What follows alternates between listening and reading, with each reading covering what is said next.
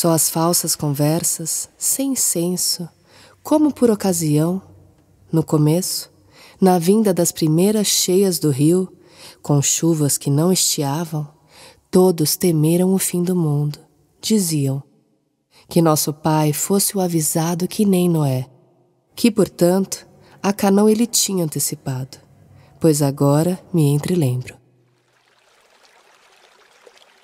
O mundo do narrador do conto A Terceira Margem do Rio, de João Guimarães Rosa, publicado no livro Primeiras Histórias, de 1962, tem uma espécie de desfecho quando o pai dele resolve viver em uma canoa no meio de um rio.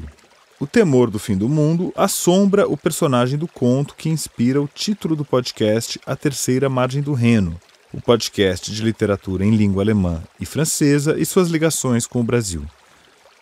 São antigas as histórias que falam do fim do mundo, tanto no sentido simbólico quanto literal. Elas podem surgir com guerras, invasões estrangeiras, alterações drásticas de sistemas políticos, mudanças climáticas e disputas por recursos naturais.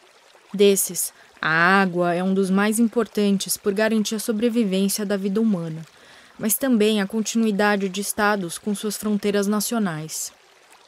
Nesse sentido, Vinícius Farjala, professor associado do Departamento de Ecologia do Instituto de Biologia da Universidade Federal do Rio de Janeiro, comenta a grande importância do Rio Reno. De fato, ele foi um, ele foi um rio. É, houve muita disputa nessa região, né? Quer dizer, você já teve uma ocupação romana, depois você teve uma, uma ocupação mais germânica. Depois, então você é, é, assim, é uma região de muita disputa. Foi uma região de intensa disputa de território, inclusive histórica. Então essas fronteiras que a gente tem hoje é, entre os países historicamente eram diferentes.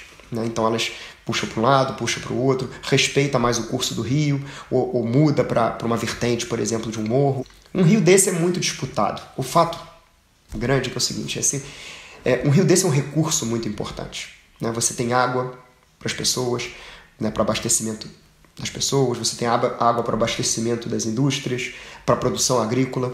Né? Então você tem é, recreação, tem o transporte. Né? Então é, quem controla as margens do rio, quem controla o rio, controla o fluxo de mercadoria que tem nele.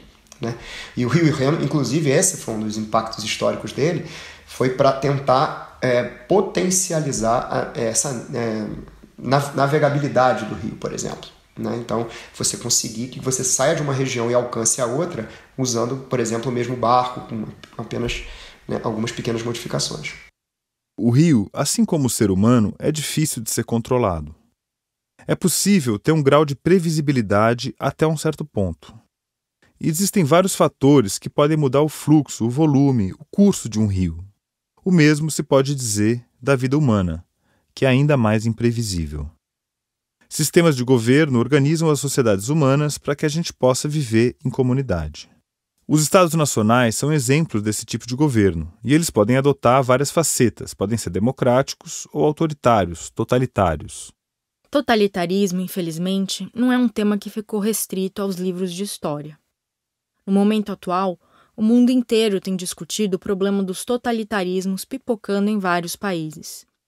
E a impressão que temos é que a literatura foi uma espécie de alerta sobre esse fenômeno. Grandes distopias escritas no século passado, como 1984 de George Orwell, voltaram à lista dos mais vendidos. Neste episódio, vamos percorrer os mundos distópicos criados por Inácio de Loyola Brandão com o clássico brasileiro Não Verás País Nenhum, também vamos conhecer a sociedade asséptica totalitária criada pela alemã Julie Zeh em Corpus Delicti, um processo, e dar uma volta pelo mundo intergaláctico e ultracontrolado do quadrinho de ficção científica Shangri-La, do francês Mathieu Bablé. A gente também vai ver como é que a escritora Herta Miller transformou a experiência totalitária em literatura. E vamos seguir os passos da filósofa alemã Hannah Arendt, que foi quem descreveu o conceito que é tema desse episódio no importante ensaio Origens do Totalitarismo. Na outra margem do Reno, a pensadora francesa Simone Weil, que foi vítima do totalitarismo nazista, aponta caminhos possíveis para atingir a liberdade. Então, vamos embarcar com a gente nessa viagem que tem sotaque francês, inflexões em alemão e sonoridade brasileira. Juntos, a gente vai partir da terceira margem do Reno rumo ao horizonte sem fim da literatura.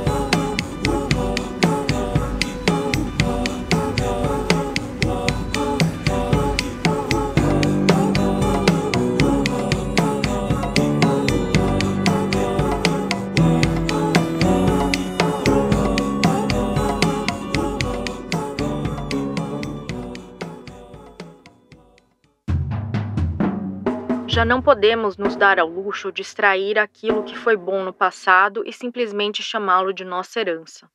Deixar de lado o mal e simplesmente considerar um peso morto, que o tempo por si só relegara ao esquecimento.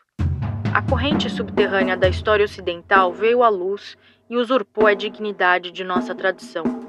Essa é a realidade em que vivemos. E é por isso que todos os esforços de escapar do horror do presente refugiando-se na nostalgia por um passado ainda eventualmente intacto ou num antecipado oblívio de um futuro melhor, são vãos. É assim que a filósofa Hannah Arendt termina o primeiro prefácio, assinado em 1950, de Origens do Totalitarismo. O livro tinha sido concluído em 1949 e passaria por várias revisões desde a primeira publicação, em 1951. Assim como vários dos intelectuais que sobreviveram à Segunda Guerra Mundial, a Hannah Arendt passou a vida tentando entender como foi possível acontecer a ascensão do nazismo na Alemanha, o Holocausto e todos os horrores perpetrados nos campos de concentração. Em vez de tentar esquecer, ela preferiu encarar esse horror do passado, usando o pensamento afiado para desenvolver conceitos hoje fundamentais, como de banalidade do mal. Depois dela, ficou mais fácil entender que o mal, os crimes contra a humanidade, podem ser cometidos por funcionários pacatos, cidadãos de bem que podem funcionar como burocratas da morte. De família judia, a Hannah Arendt teve que fugir da Alemanha para os Estados Unidos para não ser morta durante o governo de Hitler. Sob o impacto dessa experiência de exílio e de tudo que foi se descobrindo depois do fim da guerra, Hannah Arendt foi escrevendo livros muito importantes, polêmicos e também influentes. Um desses livros é Origens do Totalitarismo. O livro é dividido em três partes, que têm como título os elementos que levam a uma ordem totalitária: antissemitismo, imperialismo e, por fim, totalitarismo. Para Hannah Arendt, um regime totalitário é diferente dos modelos já conhecidos até então, como o despotismo, as ditaduras e as tiranias. O governo totalitário, segundo ela, tem características próprias e mostrou suas feições no século XX, com o Estado nazi-fascista alemão e o Estado soviético stalinista. Dois processos antecedem o totalitarismo: o antissemitismo e o imperialismo. Mas vamos ver como é que a própria Hannah Arendt define o que é totalitarismo. Sempre que galgou o poder, o totalitarismo criou instituições políticas inteiramente novas e destruiu todas as tradições sociais, legais e políticas do país. Independentemente da tradição especificamente nacional ou da fonte espiritual particular da sua ideologia, o governo totalitário sempre transformou as classes em massas, substituiu o sistema partidário por ditaduras unipartidárias, mas por um movimento de massa, transferiu o centro do poder do exército para a polícia e estabeleceu uma política exterior que visava abertamente ao domínio mundial. Os governos totalitários do nosso tempo evoluíram a partir de sistemas unipartidários. Sempre que estes se tornavam realmente totalitários, passavam a operar segundo um sistema de valores tão radicalmente diferente de todos os outros que nenhuma das nossas tradicionais categorias utilitárias, legais, morais, lógicas ou de bom senso, podia mais nos ajudar a aceitar, julgar ou prever o seu curso de ação. O que os estados totalitários têm em comum são o uso do terror e o objetivo da dominação total. Quem explica é a professora Renata Nagamini, que fez parte do Centro de Estudos Hannah Arendt.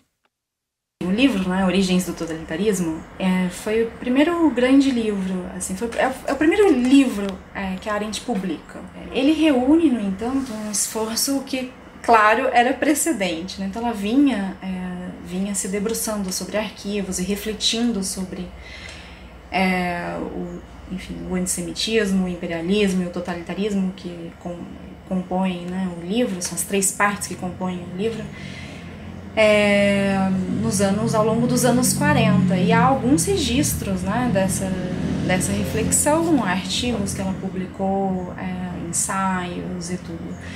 Ela tinha chegado há relativamente pouco tempo assim nos Estados Unidos, né? É, quando ela publica As Origens. Ela publicou em inglês. E, e a gente sabe, até por, é, por enfim, coletâneas que foram publicadas é, postumamente. A gente sabe que ela é, vinha é, tentando pegar esse touro pelo chifre, né? Ela vinha lutando para entender o que tinha acontecido e como podia, como podia ter acontecido.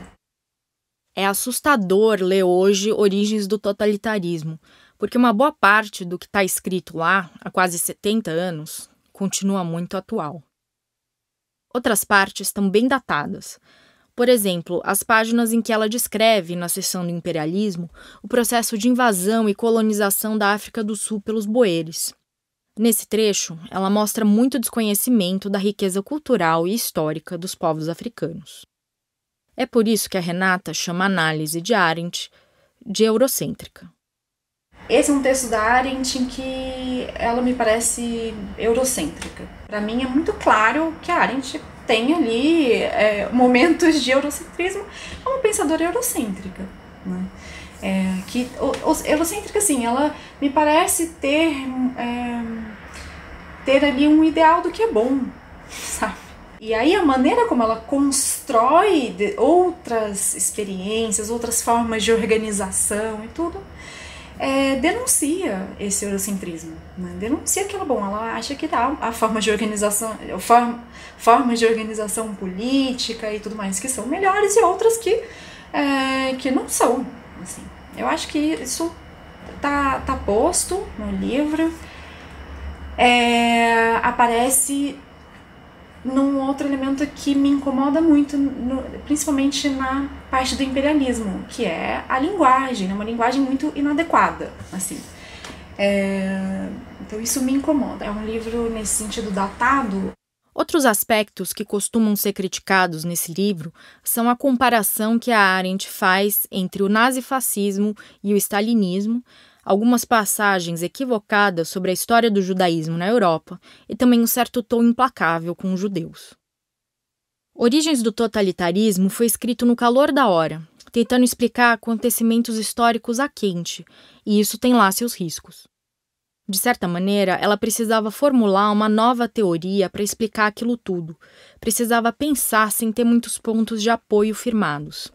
Pensar sem corrimão, como foi batizado um livro póstumo que reúne seus escritos esparsos. Origens do totalitarismo nunca saiu do debate, mas ganhou força desde que Donald Trump foi eleito presidente dos Estados Unidos e que países como Turquia, Hungria, Polônia e, claro, o Brasil passaram a ter governos autoritários. O livro realmente tem partes que fazem muito sentido diante do que a gente está vivendo, principalmente quando ela fala da comunicação e do que ela chama de produção de verdade. A produção de verdade é a técnica do discurso totalitário que tenta transformar em realidade um mundo fictício. A Arendt dá até esse exemplo que vai se repetindo ao longo do livro. Se o governo soviético falou, digamos, que só tem metrô em Moscou, o que é que eles vão fazer? Vão tentar destruir o metrô de Paris de maneira que esse discurso fictício se torne realidade. Quando a Hannah Arendt descreve os movimentos totalitários, que são diferentes de governos totalitários, é impossível não compará-los ao bolsonarismo, ainda que os processos tenham diferenças. De novo, a Renata Nagamini. Falar em totalitarismo, nesse caso, não é é necessariamente falar numa forma de governo, acho que a forma de governo não é totalitária, eu acho que a sociedade não é totalitária, mas acho que há elementos totalitários. Assim, e um elemento é, que me parece poder ser chamado é, por esse nome, ser nomeado assim, é, é a a forma, são os usos ou a forma como a comunicação se dá num determinado grupo. É, ou por um determinado circuito. Tanto é que o bolsonarismo ele tenta emprestar plausibilidade o tempo inteiro, há muito de imaginação ali, por mais que por mais absurdo que seja, e há um empenho, há uma ação, a, a, a produção de verdades factuais, é, de verdade, de realidades paralelas, né, de outras realidades, é, é uma forma de ação. Assim. E isso eu acho que é, é pelo menos intelectualmente fascinante. Claro que civicamente é angustiante, mas intelectualmente é fascinante. Porque eles vão produzindo assim uma realidade e vão tentando construir verdades que e to, tentando tornar essas, essas, é, esses fatos alternativos é, mais, o mais largamente compartilhados possível. O que o bolsonarismo, o trumpismo fazem, no final, me parece ser disputar essa verdade. Para disputar, é preciso produzir algo, um fato outro. Né? É, então, e até isso, assim, é. É pós-verdade, se for, mas é, a pós-verdade ela não é, pensando com a Arendt, necessariamente um, a, a desautorização da ideia de verdade. Ela é uma disputa da instância em que, a, em que se produz a verdade.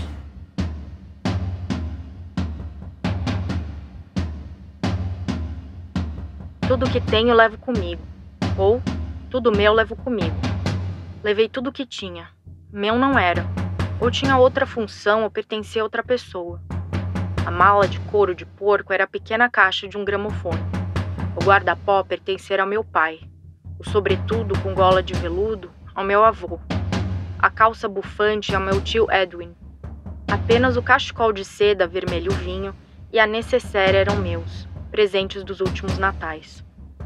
A guerra ainda não terminara em janeiro de 1945. Apavorados com o fato de que, em pleno inverno, os russos me obrigassem a ir, sabe-se lá para onde, Todos queriam me dar alguma coisa que talvez fosse útil, já que nada poderia ajudar. Porque nada no mundo poderia ajudar. É assim que começa Tudo o que tenho levo comigo, da escritora romena de origem alemã Herta Müller, ganhadora do Nobel de Literatura em 2009. Esse romance trata de Leo Alberg, jovem homossexual de 17 anos. No fim da Segunda Guerra Mundial, ele foi levado para um campo de prisioneiros soviético. Lá, junto de uma minoria alemã, o Léo conviveu com a fome, teve que realizar trabalhos forçados, lidou com doenças, com a solidão e com a morte. Depois de cinco anos, o Léo voltou para casa, mas não conseguia deixar o passado para trás.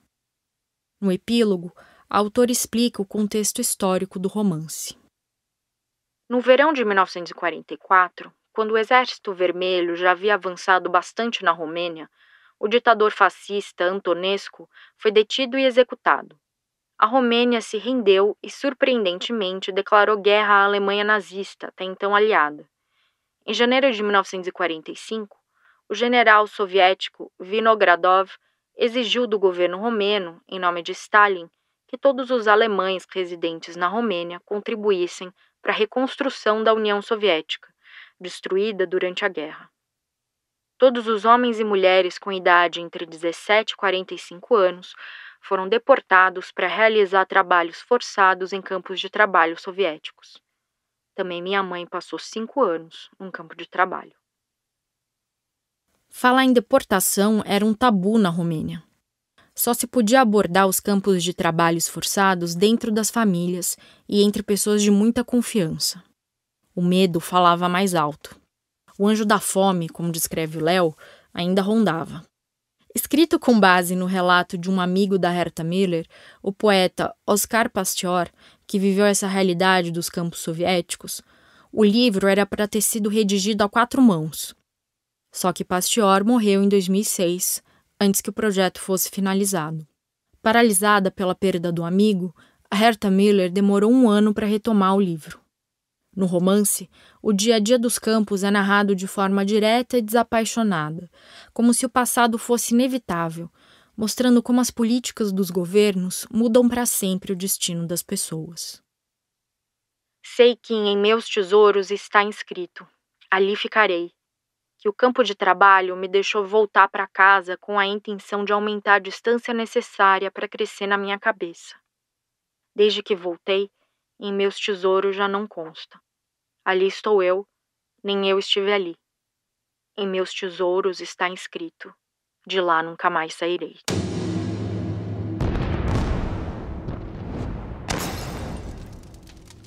No decorrer dos anos, temos nos adaptado a tudo. Acaso as gerações dos anos 60 e 70 não se conformaram, aceitaram e até buscaram o estado de sítio permanente? Quando penso nessas coisas, não me excluo. Eu também sou povo.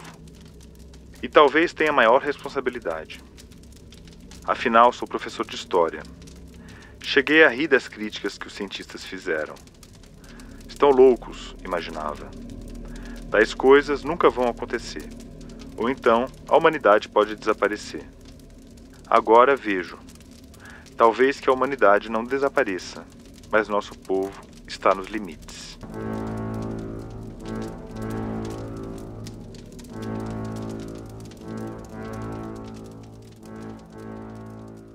Já não é de hoje que a vida no Brasil traz uma sensação de estarmos vivendo uma espécie de distopia. O escritor Inácio de Loyola Brandão, nascido em Araraquara, no interior paulista, já tinha captado esse sentimento no romance Não Verás País Nenhum, que completou 40 anos em 2021. É o clássico distópico brasileiro por excelência. Se você pensar, Paulo, que na verdade eu comecei a escrever em meados dos anos 70, são 45 anos. Esse é o Inácio de Loyola Brandão contando para Paula Carvalho como foi o processo de criação do livro. Se você me perguntar se eu previ, visualizei, eu, não. Não. Não, porque eu não tinha ideia, no fundo, do que, que eu estava fazendo. Em termos, claro. Eu sabia que eu estava escrevendo um livro a tal ponto uh, aterrorizante que eu pensava assim, ninguém vai ler. E eu, tanto que eu cheguei na página 100 ou 150, joguei tudo fora e recomecei, e nesse momento eu comecei a colocar dentro desse livro um certo humor, uma certa ironia, uma certa uh, sátira, que era para amenizar a coisa. Não Verás País Nenhum acabou fazendo um baita sucesso desde o começo. Não Verás País Nenhum captou muito bem o clima do Brasil naquele início de abertura democrática, de fim de regime militar. A sensação ainda era de terra arrasada. O protagonista é Souza, um professor de história que virou funcionário público depois dos anos da locupletação. Esse é o nome do período em que o governo totalitário dos civiltares tomou o país depois dos abertos anos 80. Nesse Brasil, os animais e as florestas não existem mais. A Amazônia virou um deserto. Há controles sobre a mobilidade das pessoas, tiroteios por toda parte. A água virou artigo de luxo. À direita estende-se o vale seco do antigo Tietê. O rio era mais raso do que eu pensava, como fedia grosso, coalhado de detritos. Até que foi bom secar, não passava de um estéreo caudal de imundície, intestino pobre da cidade. O Inácio conta como foi que surgiu a primeira inspiração para o livro.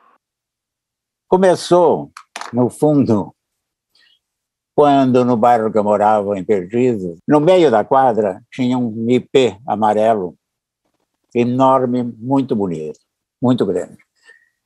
E aquele ipê era uma espécie de mascote, a gente adorava aquela árvore.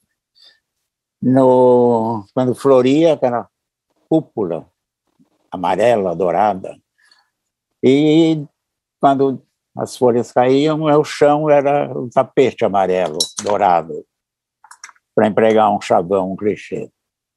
E essa árvore começou a morrer. Começou a secar, secar, secar, secar, secar, até secar totalmente. Eu fui pro, ia sempre para a padaria, tomava minha média, meu açúcar, aquelas coisas. E conversando, um grupo, todo mundo naquele dia, falou, ah, mas o que, que houve com o IP, o IP, o IP? O padeiro, o dono da padaria, disse: todo dia quando eu chego, chegava às quatro da manhã, a dona daquela casa em frente, eu lembro até do número 67, estava regando a árvore. E decidimos, então, um grupo ir até a casa dessa mulher. Ela nos atendeu, uma mulher simpática, de 50 e poucos anos. E a gente perguntou sobre a árvore. E ela falou: Ah, não, eu envenenei mesmo. Eu falei: Mas a senhora matou a árvore. Por quê? Ela falou assim: Porque essa maldita árvore sempre sujou minha calçada com essas flores desgraçadas. Nesse momento, alguma coisa bateu em mim. Eu falei, mas flor desgraçada, árvore maldita, tem uma coisa de muito errado. Casado com Adelaide, uma católica que tem um sobrinho no exército, o Souza passa por uma mudança quando descobre um furo na mão, que aparece do nada. Essa figura apareceu primeiro no conto O Homem do Furo na Mão, que faz parte do livro Cadeiras Proibidas, de 1976. O furo é completamente disruptivo e causa mudanças drásticas nas relações de Souza, inclusive com ele mesmo. Quem tem furo na mão é diferente. E as pessoas diferentes amedrontam. Você nunca sabe o que uma pessoa diferente pode fazer, o que ela significa, o que ela é. Tá? Então, aquilo me bateu na cabeça. E eu não explico no livro de onde veio o furo. E nunca ninguém me perguntou. E eu, a única explicação que eu dou é essa. E é muito engraçado isso. No prefácio da edição comemorativa de 40 anos do livro, publicada em 2021 pela editora Global, a historiadora Eloise Starling conta que a palavra distopia foi criada pelo político e intelectual britânico John Stuart Mill em 1868. Segundo a historiadora, ele chamou de distopia a descrição ficcional de um governo esmagadoramente opressivo projetado no futuro pois para mim parece ficção científica. São Paulo fechado, dividido em distritos, permissões para circular, fichas magnetizadas para a água, uma superpolícia como os civiltares, comidas produzidas em laboratórios, a vida metodizada, racionalizada. Tem razão. Vivemos ficção científica porque 20 ou 30 pessoas, numa época que o povo, sempre gozador, chamou de era da grande locupletação, resolveram ter lucro usando poder ficção científica ridícula. A Heloísa Starling conclui no prefácio. Não é que a sua literatura consiga ver mais, ela ajuda a ver mais intensamente. Dispara o alarme para refletirmos sobre o que está acontecendo hoje. Eu tenho um medo tão grande de que esse presidente se reeleja. Você nem imagina. Para continuar essa barbárie. E quantas escolas que não, não puderam estudar porque não tinha um computador, não tinha método, não tinha nada para coisa. E os invisíveis, e os miseráveis, e os sem teto, e os desempregados, e tudo isso. Eu acho que a gente tomou consciência, eu acho que a pandemia foi muito boa no sentido de você falou, tem um Brasil aí atrás. E esse Brasil não é distopia, é esse momento. É uma distopia na realidade também. Antes de escrever o livro, eu estava relendo, relendo, eu tinha que fazer uma palestra lá em São José do Rio Pardo, na Semana Euclidiana, e reli Os Sertões. Euclides tem uma frase que ficou para sempre na minha cabeça. A anormalidade se tornara a normalidade. Eu acho que a gente vive a anormalidade e nós não estamos percebendo. Para mim é isso. E a distopia é isso. É você viver na normalidade e está tudo bem.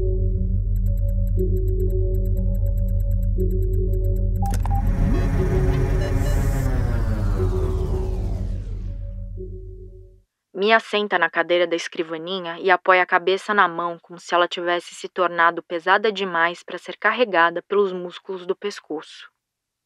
Por alguns momentos, tudo fica em silêncio. Do outro lado do mundo, o rio Amazonas escoa 200 milhões de litros de água por segundo para dentro do Atlântico. É como se fosse possível senti-lo na sala da casa de Mia. Pisa-flores rói as unhas de seus dedos, o que é proibido devido ao perigo séptico. Como seria viver em uma sociedade completamente asséptica, em que a manutenção da saúde é um direito e um dever do cidadão? É esse o mundo imaginado em Corpus Delicti, um processo, um romance distópico originalmente de 2009 da alemã Julie Zeh. O livro é uma adaptação de uma peça que ela escreveu em 2007. A crítica alemã comparou a grandes nomes da ficção especulativa, como Ray Bradbury e Philip K. Dick. A sociedade é aqui regida pelo método, um sistema apoiado no racionalismo e na ciência, que foi criado depois das grandes guerras do século XX, em meio ao colapso das garantias sociais e ao caos que veio com a dissolução de governos. O controle sobre os corpos vem de um governo totalitário. A protagonista, Mia Hall, uma bióloga competente que trabalha para um laboratório, segue à risca as orientações trazidas pelo método. No entanto, seu mundo cai quando seu irmão Moritz é condenado pelo estupro e assassinato de uma jovem. Os testes genéticos de investigação do método, considerados infalíveis, incriminam Moritz, mas ele garante a sua irmã que é inocente. Ele é dado como morto em um suicídio suspeito, o que deixa então Mia transtornada. A partir daí, ela passa a esquecer de fazer os exames de saúde de rotina exigidos pela lei, falta ao trabalho, conversa com a amante imaginária do irmão e passa a fumar, o que chama a atenção de Heinrich Kremer, um jornalista e importante assessor de comunicação do governo e do método. Passam a desconfiar de que ela faça parte do grupo terrorista Direito à Doença, ou DAD, o que ela nega veementemente, pois ela não se sente identificada com a oposição ao método e nem mais com o próprio método. Respeito o fato de representar Moritz e manteres viva sua lembrança, diz Mia. Esse é teu encargo, mas peço que não me fales nada a respeito do meu interior. Moritz já não o entendia. Ele me considerava fraca e conformista. E o que és, na realidade? Inteligente demais para o narcisismo da resistência. A maior parte da ação se passa nos tribunais, com Mia respondendo a interrogatórios entre o promotor Bell, o advogado de defesa Pisa Flores e a juíza Sofia. Sem querer, diante da sua declaração de acreditar na inocência do seu irmão, Mia cria um clima de instabilidade social, desacreditando na eficiência do método. Tornada traidora e inimiga do método, ela passa a ser perseguida pelas autoridades. No final, o que a segura é a sua relação com o irmão, de quem era muito próxima e com quem costumava se encontrar às margens de um rio. E mesmo que não consiga obter o fim catártico que tanto almejava, ela se apega à memória dele para lutar até a sua condenação. Então ele desapareceu, conta Mia ao rio. Tenho certeza de que ele sentiu saudade de ti e dos teus peixes na cadeia. Provavelmente ele tivesse doado sua vida uma segunda vez para te ver de novo. Enciumada, me abate com as solas dos pés na superfície da água, fazendo-a esguichar. O rio permanece incólume e continua correndo. Ela é emboscada pela polícia.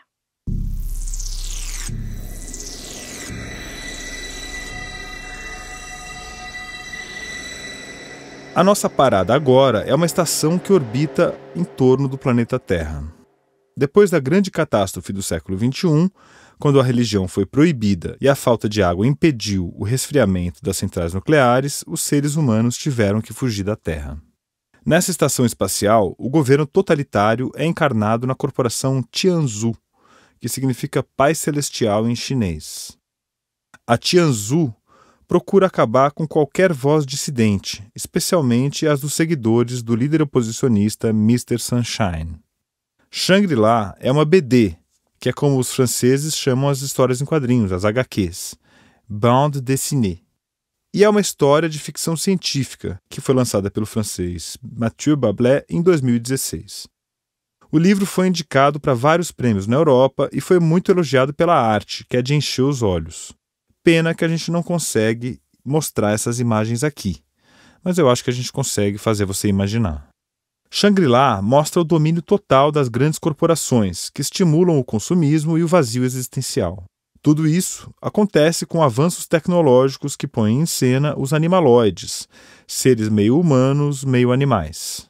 Eles foram criados a partir de experimentos genéticos para compensar as frustrações dos humanos que vivem presos na estação espacial.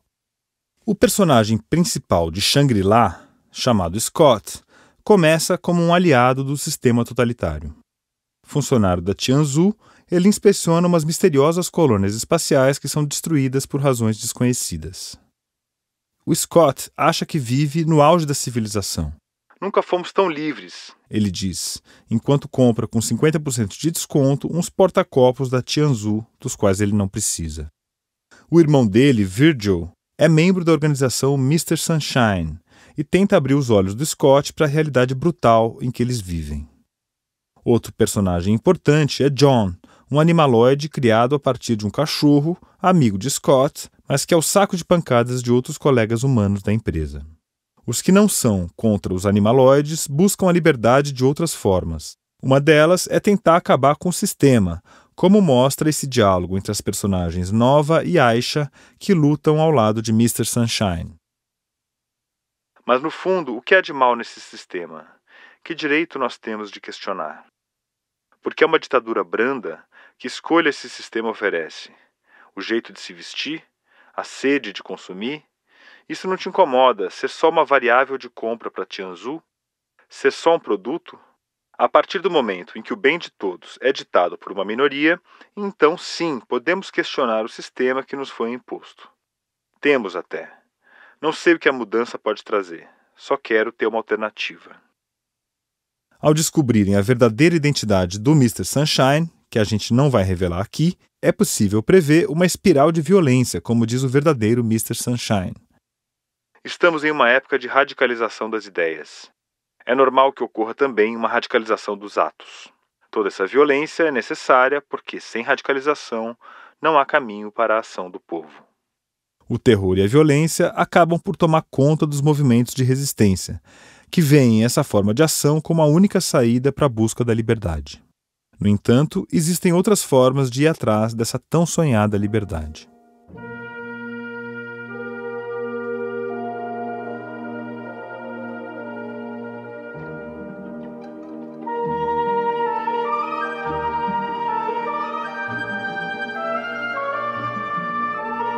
Quem, neste momento, que vem da França e chega à Alemanha, tem a sensação de que o trem o levou do mundo a outro, ou antes, de um retiro separado do mundo para o verdadeiro mundo.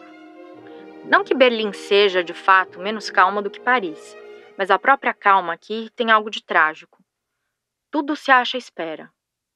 Levantam-se os problemas que dizem respeito à estrutura da sociedade humana. Não como na França, onde eles pertencem a um domínio à parte, o domínio da política, como se diz. Isto é, em suma, o domínio dos jornais, das eleições, das reuniões públicas, das discussões dos cafés e onde cada um discute como se os problemas reais estivessem longe. Na Alemanha, agora, o problema político é, para cada um, o problema que atinge mais de perto. Ou melhor, nenhum problema que se vincule ao que há de mais íntimo na vida de cada homem é formulável, senão em função do problema da estrutura social. Essa é a Simone Weil, escrevendo sobre algumas de suas primeiras impressões sobre a Alemanha quando ela chega a Berlim em 1932, em meio à ascensão do governo de Hitler, declaradamente antissemita. E a Simone Weil, nascida na França em 1909, vinha de uma família judia. Ela queria entender o que estava acontecendo essa é a Leda Cartoon, apresentadora do podcast 20 Mil Léguas e que traduziu o livro O Peso e a Graça, da Simone Weil. Se a família dela estava dissuadindo que aquilo era perigoso, era o motivo até porque ela estava indo era esse. Ela precisava ver o antissemitismo, ela precisava passar pelo que os outros estavam passando, ainda mais por ser judia. E Berlim, naquele momento, estava é, vivendo um cenário de muito desemprego, muita miséria, e é interessante olhar a maneira como a Simone Weil relata para a família o que ela estava vivendo e a maneira como ela escreve nos artigos. É muito diferente uma da outra. Então, para a família dela, ela disse que a cidade estava muito tranquila, que estava tudo bem, para tranquilizar os familiares. Mas enquanto isso, nos relatos, tem uma revista que chamava A Revolução Proletária, em que ela escreveu vários artigos, uh, ela faz uma denúncia enorme do massacre que estava acontecendo em Berlim, dos comunistas e do nazismo que estava crescendo. Ela estava realmente pressentindo alguma coisa ali. E ela tem uma intuição muito aguda.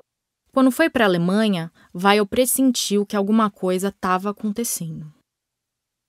Politicamente, tudo está sempre tranquilo. Quanto aos acontecimentos alemães, aqui há menos excitação do que em Paris. Mal se vêem alguns nazistas em uniforme pela rua e eles se portam como todo mundo. De manhã, lê-se nos jornais que houve mais atentados aqui e ali, mais ou menos com o mesmo estado de espírito com que se lê que houve tantos acidentes de automóvel. Os jornais inimigos não se defrontam nos metrôs. Não se discute política. Quando ela vê a população miserável, ela vê as crianças magras, ela vai entendendo que a sociedade está incorporando a ideologia nazista. E aí é, ela não vai escrever nesses artigos tanto teses políticas ou reflexões, é, mas mais denúncias mesmo, que são artigos de uma urgência enorme, assim, de é, tentar revelar o que está acontecendo não só na Alemanha, mas na Europa inteira, querendo mostrar para a população, para os intelectuais, para as pessoas que estavam em volta, para os militantes, o que estava se configurando ali, que o Hitler não era um bobo, o Hitler não era um palhaço, como muita gente achava naquele momento, que até se parece bastante com coisas que estão acontecendo agora.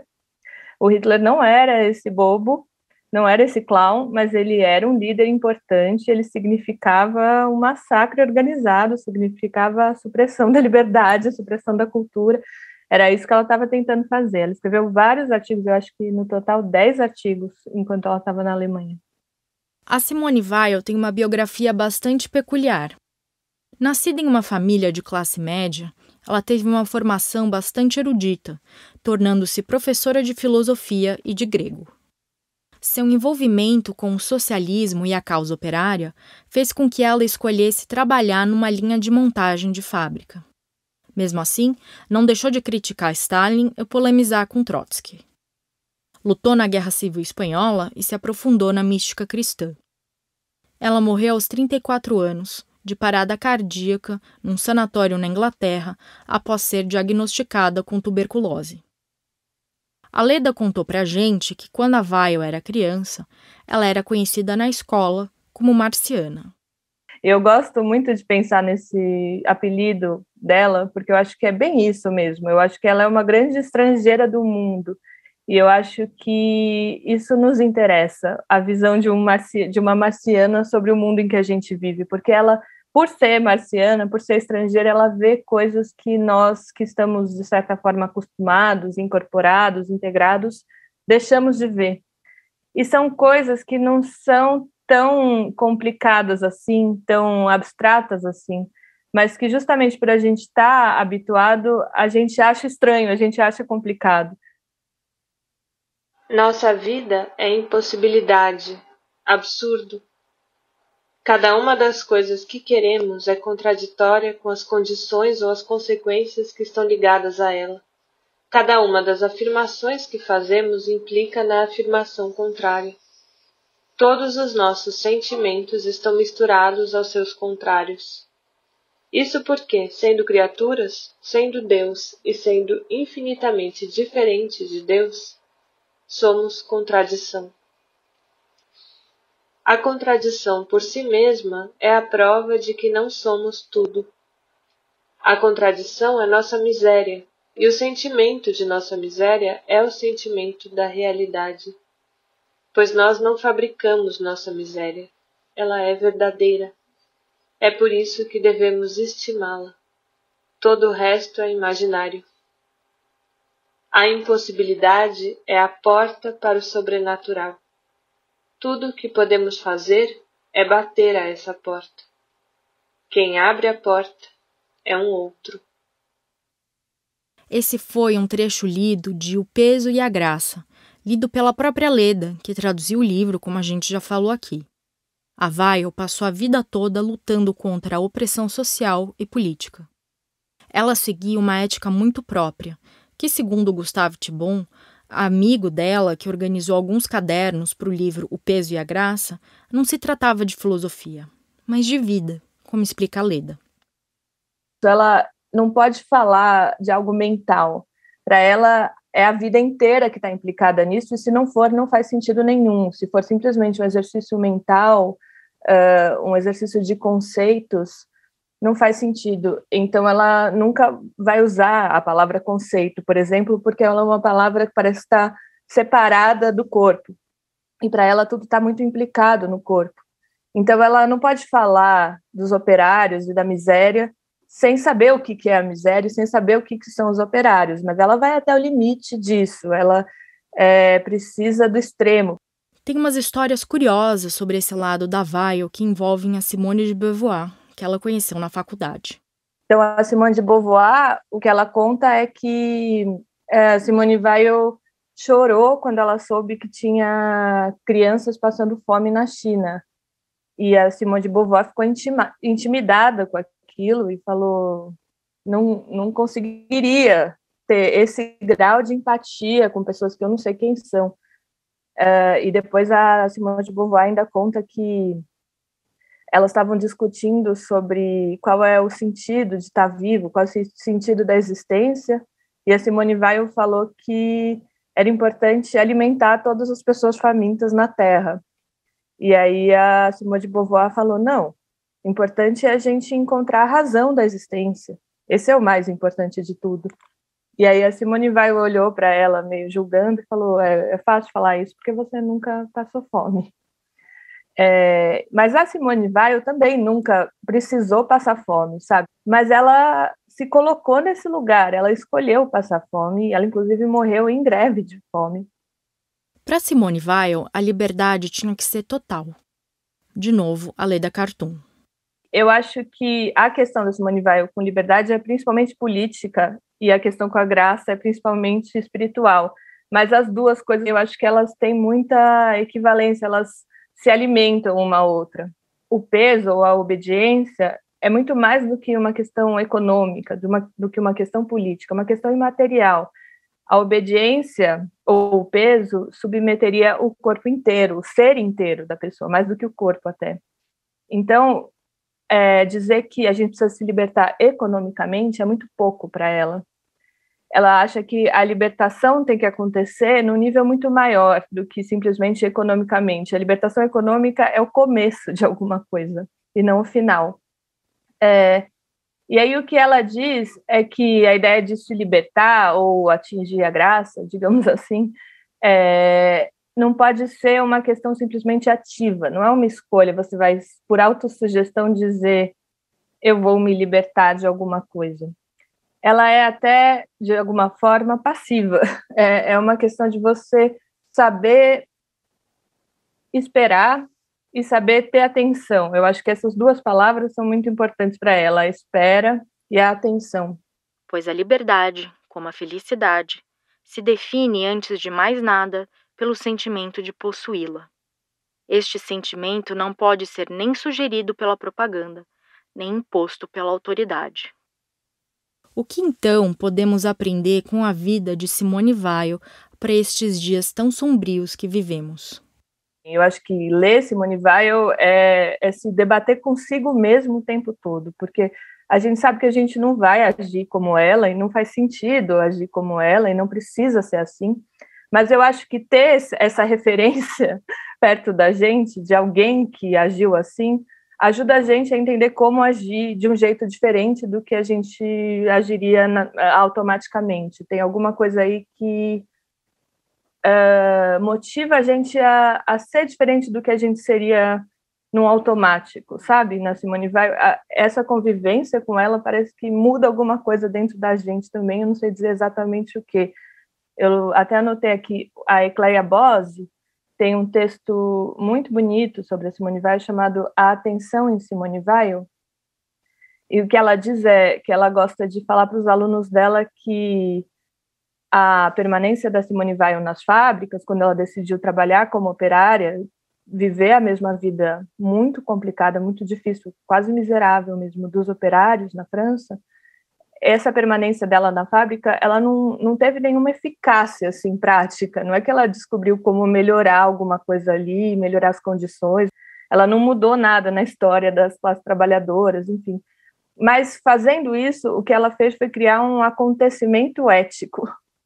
E eu gosto de pensar nisso, de, de acontecimento ético, porque eu acho que é um pouco isso que eu estava falando, que a gente acaba tendo essa pessoa que fez isso como uma referência ética mesmo, como um parâmetro de quem a gente pode ser. Não que a gente tenha que reproduzir o que ela fez, mas que a gente pode mudar alguma coisa no que a gente é, pensando nela e no que ela fez. Este foi o quinto episódio de A Terceira Margem do Reno, o podcast sobre literatura em língua alemã e francesa. No próximo episódio, que vai ao ar em duas semanas, vamos abordar como a memória aparece nessas literaturas. A Terceira Margem do Reno é um podcast feito em correalização pelas unidades do Rio de Janeiro e de São Paulo do Goethe Institute, pela Bibliomaison e o escritório do livro da Embaixada da França no Brasil e pela Associação 451. Eu, Paulo Werneck, sou responsável pela direção geral. Eu, Paula Carvalho, sou responsável pelo roteiro deste episódio e pela coordenação do podcast. A produção ficou a cargo da Ashley Calvo, com apoio da Mariana Shiraiwa. O André Wung fez a edição, a sonorização, a trilha sonora, a finalização e a mixagem desse episódio. A direção de locução é da Thier, que também fez a leitura do trecho do conto A Terceira Margem do Rio. A arte de todos os episódios é feita pelo artista J. Miguel.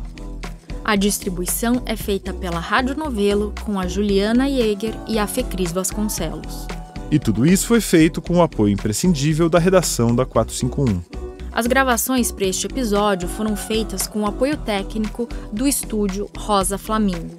Na ordem foram lidos os seguintes trechos: A Terceira Margem do Rio, de João Guimarães Rosa, que faz parte do livro Primeiras Histórias, que saiu pela editora Global.